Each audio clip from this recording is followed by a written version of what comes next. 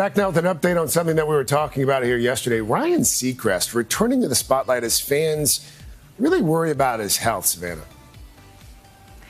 That's right. The concern was sparked by a moment that happened toward the end of Sunday's American Idol finale. Some speculated that Ryan slurred his words, that he had a swollen eye. Well, he returned to Live with Kelly and Ryan yesterday. He briefly addressed the situation and thanked fans for their concern and also all the very kind well wishes uh, from my exhaustion working around the clock. So I got a day off to relax, and here we are once again it on live.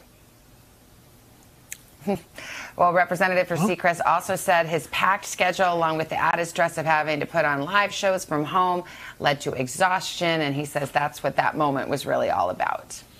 Yeah, I mean, the guy does have a million jobs that. and he does work around the clock. And, you know, I mean, he, he's had a, a long go of it. Yeah. It's glad to know, though, he's on the mend. Maybe yeah. it was his body just telling him, slow down. Slow yeah, down. Exactly.